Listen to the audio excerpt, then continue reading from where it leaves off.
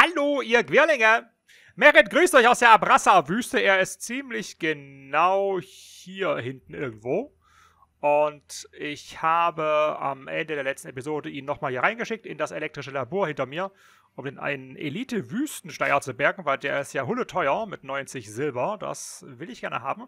Und ich habe auch, ähm, ja, bevor es in der letzten Episode an diesen Schweinsgalopp hierher ging, Merit schlafen lassen. Er hatte nämlich plötzlich Schlafbedarf und ich habe ihn zwölf Stunden schlafen lassen und zwölf Stunden seine Ausrüstung repariert. Äh, das erzähle ich nur, damit ihr euch nicht wundert, warum ich hier keine Probleme mit kaputten Sachen habe und warum Merit nicht irgendwann mal müde wird. Er ist müde geworden, aber ich muss euch im Let's Play ja nicht zeigen, wie Merit schlafen geht und wie er seine Ausrüstung wienert. Vor allen Dingen dann nicht, wenn ich eh gerade dabei bin, das alles rauszuschneiden wegen stumpfer, normaler Vorbereitung der nächsten Tour. Und an die nächste Tour soll es gehen. Ich würde mir jetzt hier gerne nochmal dieses Tal angucken. Und hier dann durch und dann hier hoch. Ummauerter Garten und dann darüber zum Klüngel der Winde. Das ist so grob das, was ich vorhabe. Was aber jederzeit gestört werden kann durch irgendwelche Entdeckungen, Gegner, Unglücke oder sonst irgendwas. Schauen wir mal.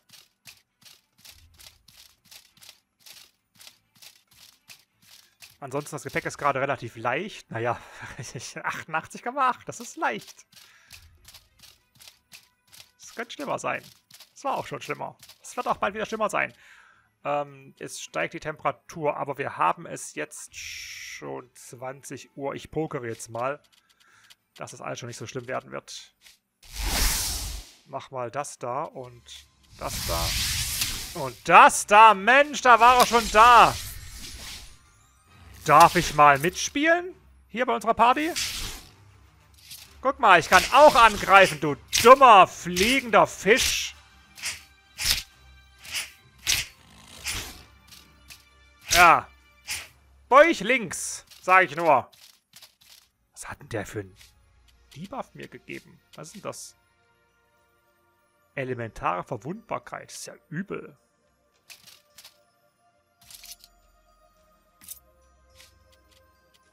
Kriege ich das weg durch einen Pilzläuterer?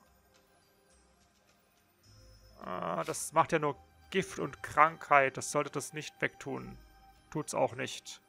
Da bräuchte ich einen Fluchreiniger. Habe ich sowas überhaupt? Probier mal den Fluchreiniger. Der wirkt auch nicht. Was wirkt denn gegen dieses Zeug? Ich bin der Meinung, ich wüsste, was dagegen wirkt, aber ich komme nicht drauf. Ah, ist egal.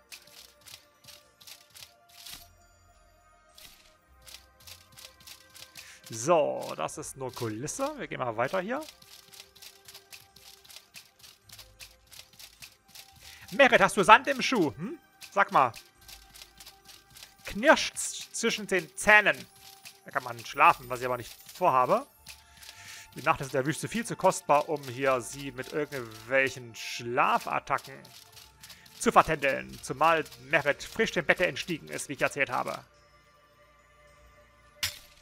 Alarm für Edelscheine? Nee. Ah, Hakenschlenker. Und Koffer. Boah. Nee, komm, lass alles liegen.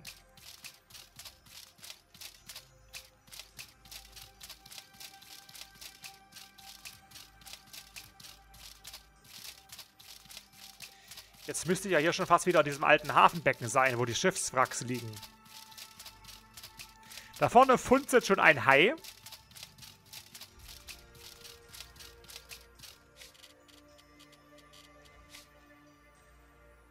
Trink was.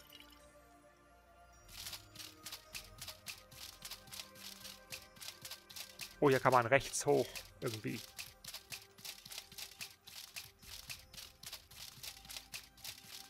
Erstmal wird der hier geschreddert.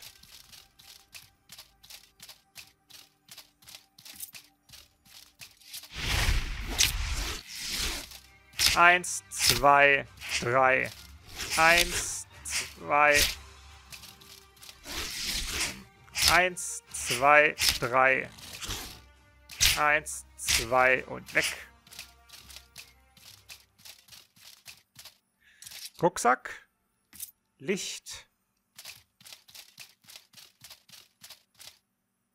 Ressourcen. Und hier nochmal. So, wir sind jetzt ja, da ist die Brücke. Ach, hier, das ist dieser. Ach, hier geht es irgendwie hoch. Warte mal. Das hier oben, der helle Punkt, das könnte ein Dungeon-Eingang sein. Ach, das ist die Stelle, wo wir den Speer gefunden haben in der letzten Episode. Wo ich hätte runterstürzen und springen können. Wäre ich hier rausgekommen. Aha. Und Merrills Temperatur steigt immer noch. Salz. Salz ohne Käfer.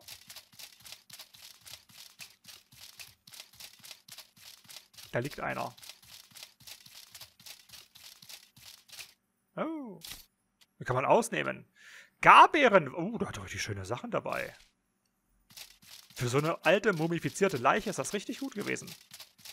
Wartet mal. Seht ihr das Ding da oben?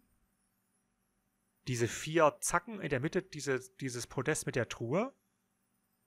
Das sieht so aus wie das, was ich da oben letzte Episode geplündert habe, was ich durch die mh, mm, arkane Maschine ja erstmal aktiviert habe. Soll das etwa heißen, die arkane Maschine hat nicht nur eine Truhe aus dem Sand zutage befördert, sondern mehrere? Also weiß einer, ob die Truhe da oben auch, da hinter Merits Kopf, ob die Truhe da oben auch, ach, das ist doch nicht zu fassen. Jetzt trink so einen verdammten Tee, das kann nicht wahr sein.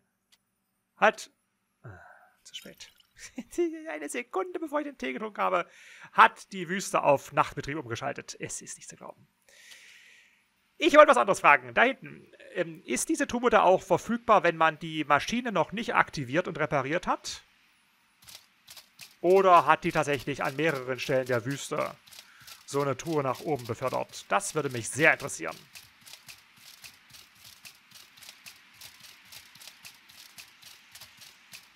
Hm. Ah, da ist wohl nichts. Jetzt komme ich hier auch zum Klüngel hoch. Aber ein Dungeon ist ja nicht so wie gedacht.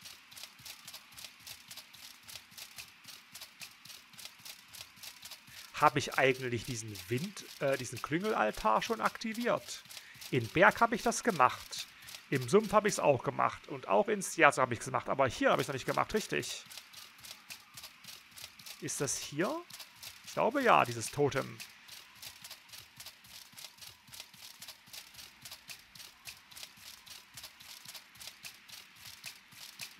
Hier ist die Spielwelt zu Ende. Da kommt man auch schon gar nicht mehr hoch.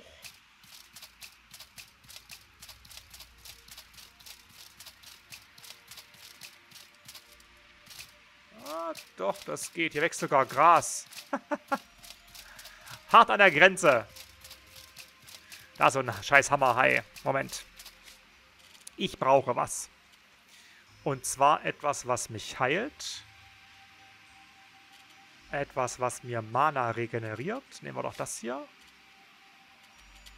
Und zauber dir einen.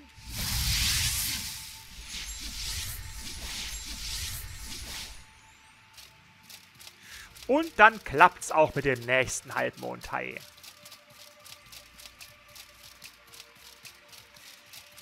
Da ist er.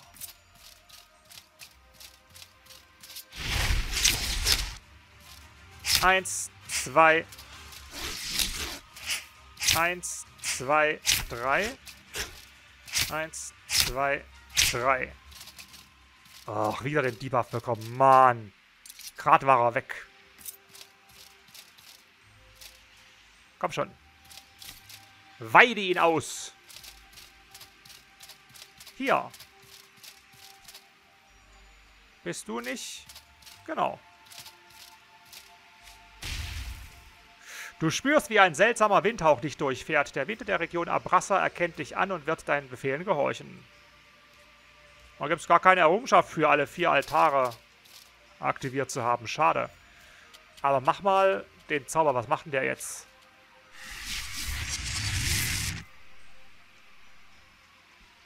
Offenbar nichts, was ich schon hatte.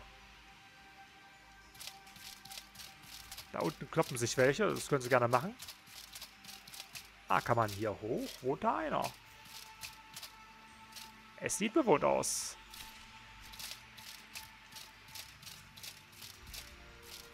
Außenposten des Klüngels der Winde. Freundlich oder feindlich? Jetzt bin ich gespannt. Das sieht nach feindlich aus. Das ist doch ein Panzerschrecken. Ja, ist es auch. Ich bin nicht gegen Feuerndes gebufft. Eins, zwei. Eins, zwei, drei. Eins, zwei, drei. Eins, zwei, drei. Und eins und zwei. Und du bist nicht mehr dran. Puh, das sieht genauso aus wie bei dem alten Eremiten in Sierso oben in der Hütte. Aber halt mit Panzerschrecken. Und mit einem riesengroßen Mausefell. Und mit alten, schimmeligen Tomaten. Ich kann die Küche benutzen. Ja, ich kann Tee kochen. Mach mal den da. Stimmt.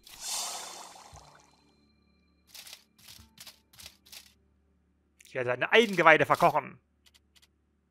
Schreckenschitin. Habe ich genug davon eigentlich. Aber hier noch eine Kiste. Gebetsclaymore. Obsidian Großstreitkolben. Mhm. Na, schwer überladen. Ich hätte gerne das gelernt.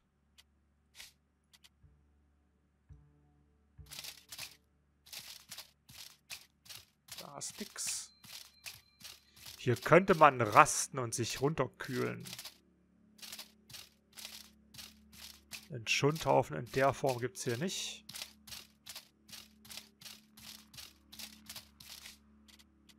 Moment.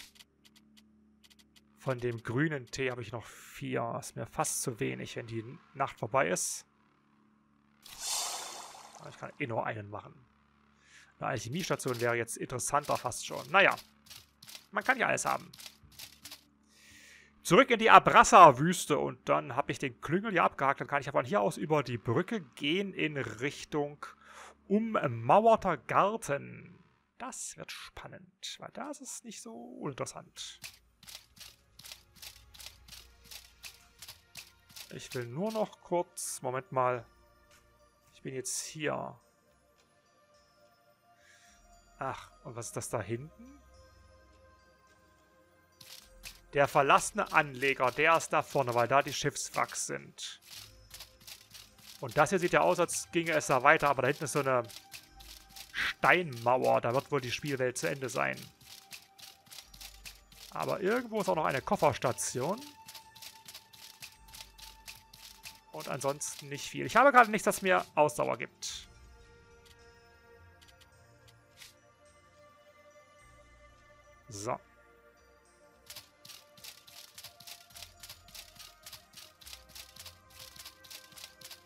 Ich glaube, hier geht's nicht rüber.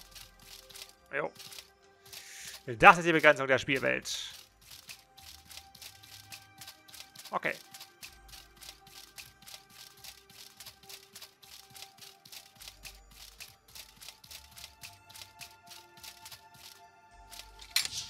Äh, Plunder. Was hätte ich mich früher über so Stolperfallen gefreut. Aber die Zeiten sind schon sehr lange vorbei. Ich überlege im Moment beim Ausmisten des Rucksacks immer schon, ob ich überhaupt noch Eisenschrott mitnehmen soll. Weil ich brauche keinen Eisenschrott. Den braucht man, glaube ich, um ähm, Pfeile herzustellen. Aber das ist ja nur so gerade gar nicht mein Thema. Oh, da unten ist ein bisschen was. Hier oben klingelt's. Ne, wir gehen mal zum Garten. Das ist interessanter. Und dann kann ich mich hier entlang hangeln. Das wird aber in der Episode nichts mehr. Das ist jetzt schon klar. Nimm ein bisschen Wasser.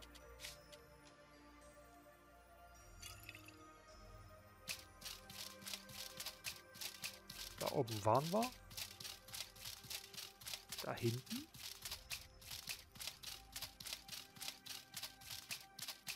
Ja, die Klüngeljungs, die hier gewohnt haben, die waren ja dafür verantwortlich, dass dieser Anschlag auf Elat äh, verübt wurde. Damit wurde ja die Leihlinie unter, äh, unter Abrassa letztlich verbraucht. Oder sie speist jetzt permanent mh, hm, den Gott Elat. Da ist irgendein Vieh, das einen Hammerhai erlegt hat. Ich glaube, das Vieh kenne ich so nicht. Es ist mir neu. Was kann das wohl? Keine Ahnung.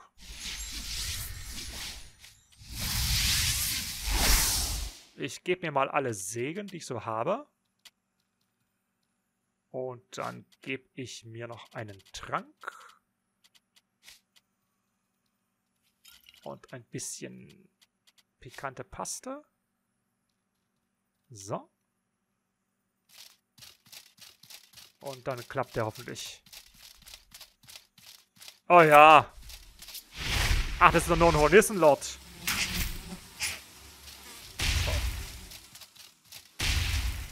Was? Was ballert denn hier nach mir? Doch gar nichts da. Scheiße. Ganz umsonst gebufft. Ein Hai. Ein wandelnder Schwarm. Die waren sie nicht grün. Ein Hornissenlord. Und noch ein Hai. Tja, dann kann ich ja fast schon jetzt schon überladen. Scheiße.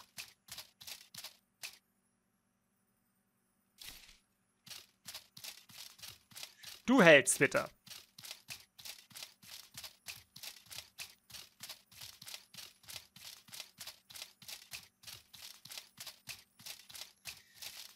Da hinten ist irgendwie einer. So, und das ist ein Riese sogar. Das ist gefährlicher. Und wiewohl ich überladen bin, will ich gerne mal gucken, was diese Truhe da drin hat.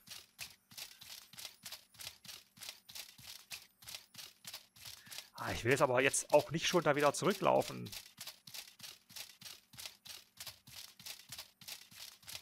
Im ähm, Garten gibt es ja eine Truhe. Die habe ich ja da mal gesehen, als ich da mal drin war. Da kann ich ja Dinge zwischenlagern. Oh, ein Drachenschild und ein Wolfsgroßhammer. Den habe ich schon mal gefunden. Das war aber in meinen havarierten äh, Kämpfen gegen Cyrene. Da habe ich mal irgendwann einen gefunden. Der ist dann weggegangen, weil irgendwer meinen abgeladenen Müll in der Unterstadtpassage zusammengekehrt hat. Den Schild will ich mir näher, näher anschauen. Was ist das? Also mal alles nehmen. Schild. Tab. Der ist weniger schlagfest und deutlich weniger haltbar. Ich muss schon gar nicht weiterlesen. Schild mit der Darstellung einer fiktiven Kreatur von großer Macht, wie man sie auf, aus dem Straßentheater und aus Kinderbüchern kennt. Ich behalte ihn aber natürlich, werde ihn nicht verkaufen, weil vielleicht ist er ja ähm, für seltene Rezepte irgendwie die Ausgangsbasis. Und jetzt kann ich mich schon kaum noch bewegen. Mist!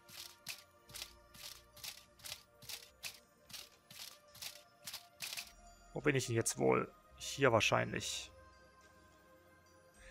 Schnurstracks hin zur nächsten Kofferstation, zur nächsten Überladung. Und der Garten kommt ja erst noch.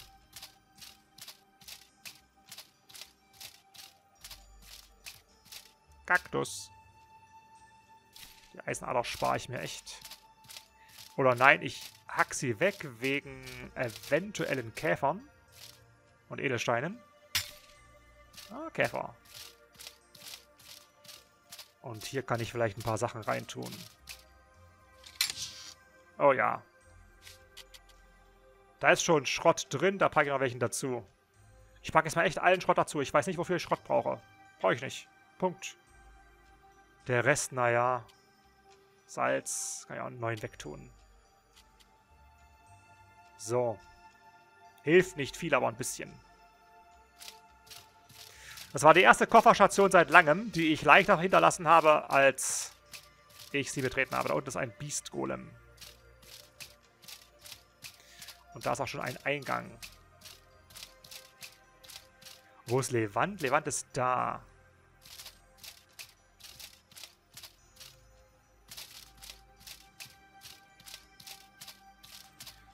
Na komm, Beastie. Also, erstmal was essen. Ich hätte gerne was, was mich heilt. Mana ist auch schon wieder ein Thema, tendenziell.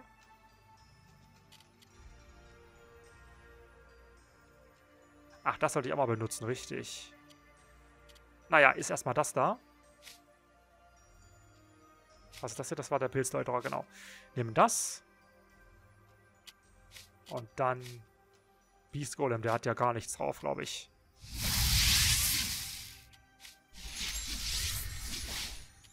Schluck Wasser.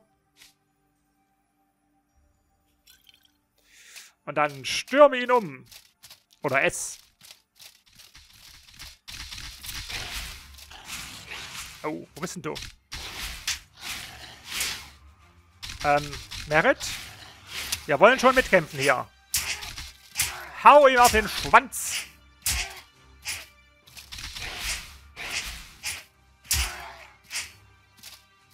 Einen Kratzer hat er gelandet. Naja. Aber nur, weil ich meine Waffe nicht gezogen bekommen habe. Beast Golem. Hm. Da hinten wäre Levant, da könnte ich wieder was abladen.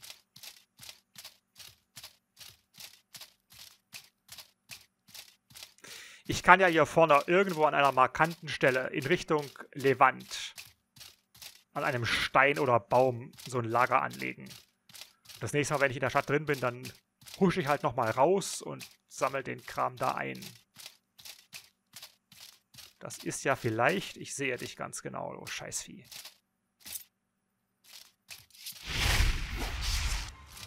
Mich trickst du nicht mehr aus, du wandelnder Steinhaufen.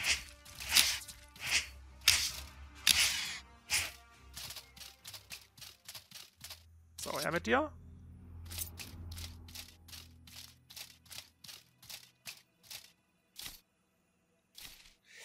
Ich beschließe jetzt, dass der Baum da hinten, der nächste, dass ich da ein Lager anlege.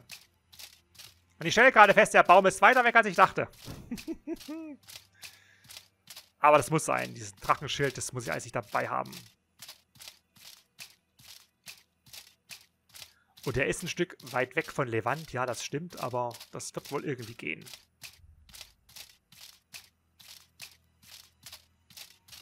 Und so viele Bäume gibt es da auch nicht. Was ist das da unten? Das ist auch so ein Steinmantis. So, hier an diesem Baum. Der irgendwie überleben kann. Ich weiß nicht wie, aber er kann's. Das abladen, das abladen, das abladen. So ein Bogen abladen, das sowieso. Ähm, das und das und Schreckenschitin. Das, das, das. Ach komm, Silber brauche ich auch nicht. Öl. Wie haben wir jetzt? 89 immer noch. Was ist das hier? Ausdauertrank. Ähm, na, wenn ich irgendwo rasten muss, dann brauche ich den ganzen Rest. Es wird hell, ich hab's gesehen. Nimm bitte ganz schnell so ein Ding hier. Und mach's dir kalt. Ja, das muss reichen, Punkt. So. Auf in den Garten.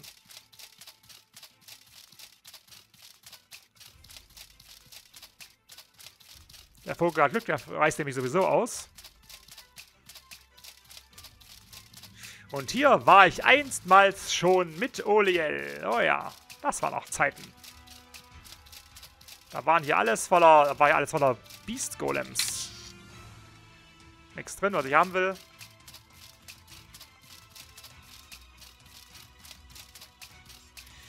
Ich gucke mir erstmal die äußeren Bereiche an. Aber hier ist sie schon stark. Das sind Schwertgolems. Das ist aber alles kein Problem. Eigentlich.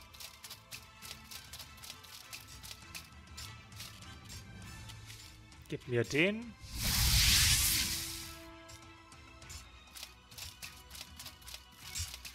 Und dann hau ich euch um. Wo bist denn du? Komm her. Hey.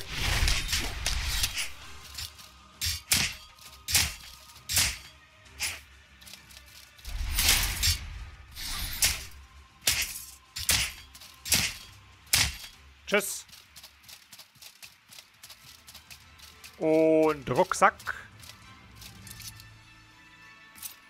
Was hast du dabei gehabt? Wo bist du gestorben? Hier, in der Rabatte. Ähm, das ist sechs. Naja. Äh. Erstmal alles einsammeln. Abwerfen können wir später. Sieht ein bisschen aus wie ein Biergarten hier in mancher Ecke. Oh, hier ist Wasser. Oh, da ist jemand.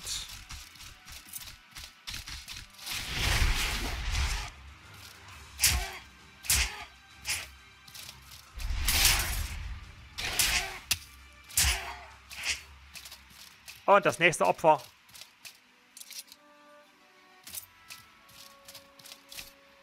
Oh, nehme ich mit.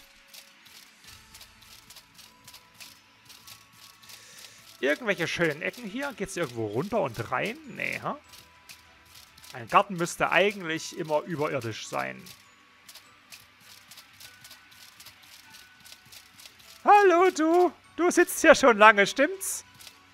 Wie geht, du hast Pusteln überall gehabt. Und ich kann dich nicht ausnehmen, was vielleicht auch besser so ist.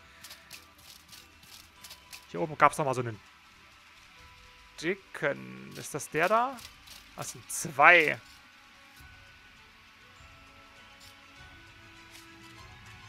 Ah, nehme ich so den Trank lieber mal.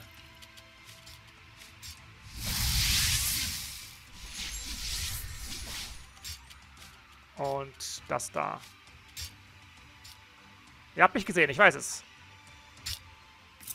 Aber ich euch auch.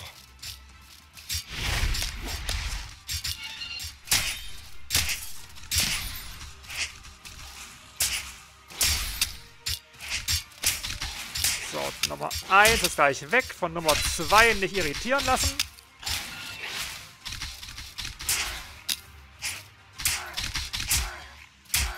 Dein Herrchen ist tot. So. Und du auch.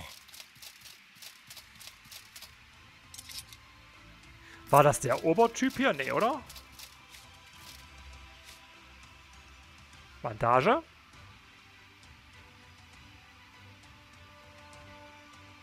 Hier sinkt meine Temperatur angeblich. Ist das hier am Garten etwa nicht so warm?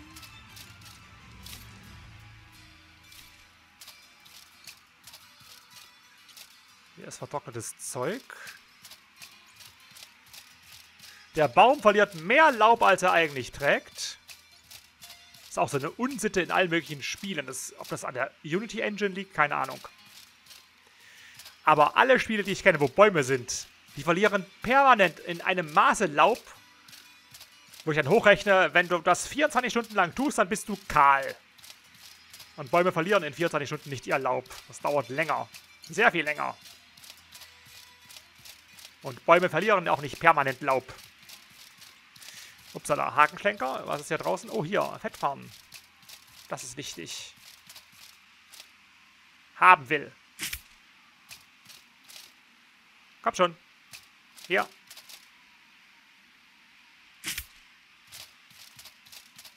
Wächst hier noch was anderes, was ich... Ja gut, Rauchwurz. Könnten Käfer drin sein. Davon habe ich gerade nicht so viele.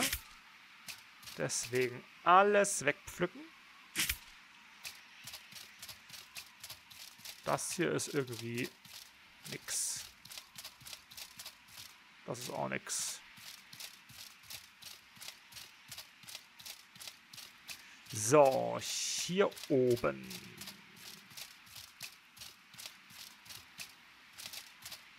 Ist nichts mehr. Da hinten ist die Truhe. Die hatte ich damals, als ich hier auf der Suche nach diesem Händler war, nicht aufgemacht. Weil ich damals gerade ganz andere Probleme hatte. Hier sitzt einer, der Obergärtner. Uh. Hm, naja. Das nehme ich, das nehme ich. Den Rest lasse ich liegen. Was ist für eine verzierte Truhe jetzt nicht so wahnsinnig viel gewesen. Hier gibt's Kaktusfrüchte. Hier gibt's Krimpnüsse. Mir ist warm. Warum? Weil der Tee schon wieder nicht mehr funktioniert. Der wirkt nicht wirklich lange.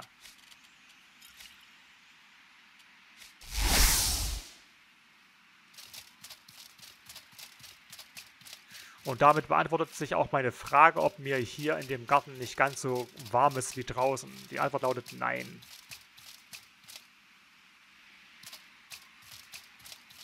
So, Hinterausgang.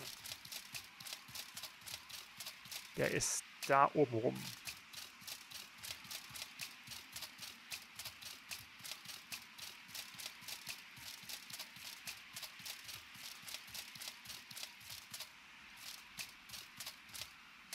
Keiner da? Ach, da ist der Obertyp. Er sieht zumindest so aus. Ich brauche was, was mich heilt. Ich brauche eine Marmeladenstulle. Ich brauche was für Mana. Ich brauche Buffs.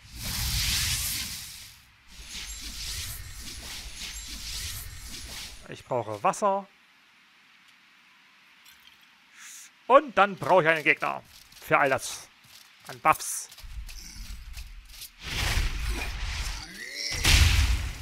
Ey.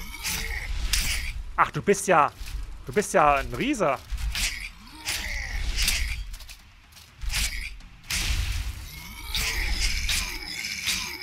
Ich hau dich aber sowas von klein. Ich geht. Nee, das war gar nicht dieser Megatyp, der hier, dieser Extra-Golem. Den kann man vielleicht nur einmal legen. Habe ich ja seinerzeit gemacht, aus Versehen. Der hat ja so einen komischen Kompassholzstab dabei, den habe ich auch noch irgendwo. Ich glaube in Monsune, der Grabbelkiste. Der ist vielleicht eine Ausgangsbasis für eine schöne Magierwaffe. Ach, du bist ein Ascheriesenpriester. Mana-Stein, großer Smaragd großer Ausdauertrank und Riesenheit-Hellebarde. Her damit! Noch irgend so ein Vieh?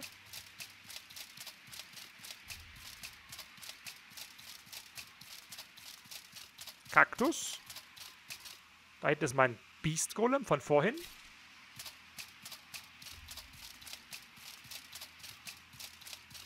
Und hier ist nirgendwo was. Ich glaube, ich bin hier durch mit dem Garten. Da bin ich mir sogar relativ sicher.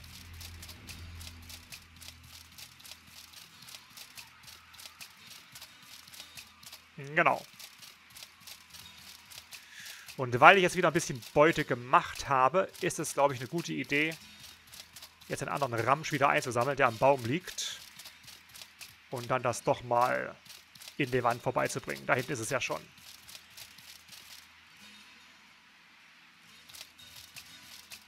Theoretisch müsste ich aber noch einmal außen rundherum. Hier gibt es noch viele verwunschene Winkel an der Mauer.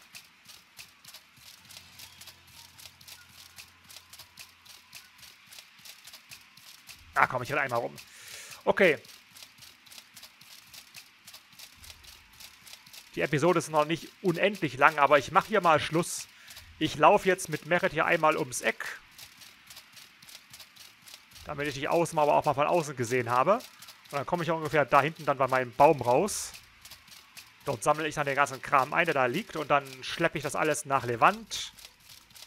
Und werde auch, da es ja gerade Tag ist, kurz nach Levant reinlaufen, den ganzen Kram verkaufen. Ein bisschen gucken, was ich da noch an Sachen aus der Truhe vielleicht brauche, an Vorräten.